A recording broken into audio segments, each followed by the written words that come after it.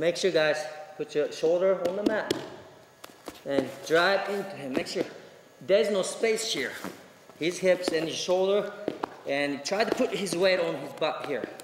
Now, I'm gonna fake roll here and I'm gonna try to cut the double leg. But this time Nico, he knows that move, so he's gonna block my arm, right arm. I'm not gonna be able to cut the double leg here. I tried to get out my elbow out, but I can't. Now, I'm gonna scoop his ankle here. I'm gonna switch.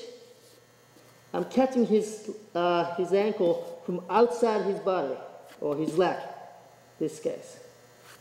Okay, do one more time. From here, roll, fake the roll. I'm gonna try to get my elbow out, but he's blocking my arm. Switch. Once I catch this leg, I'm gonna walk around. Try to put your hips down together. Don't put your hips up too high. Here, walk around here.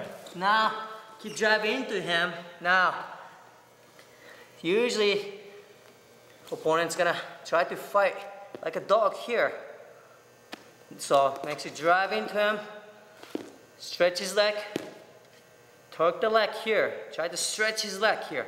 As I stretch his leg, I'm putting pressure against him here too. Now, you have to get your head out.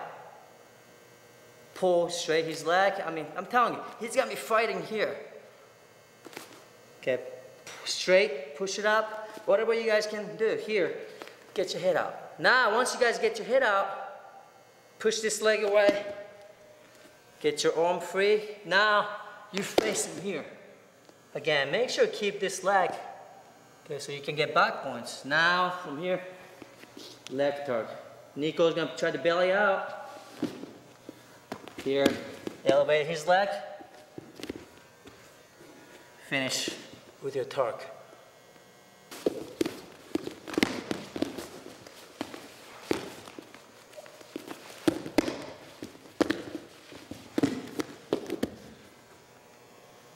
lift his leg now I'm gonna use my right leg this time. And I'm gonna post my hand here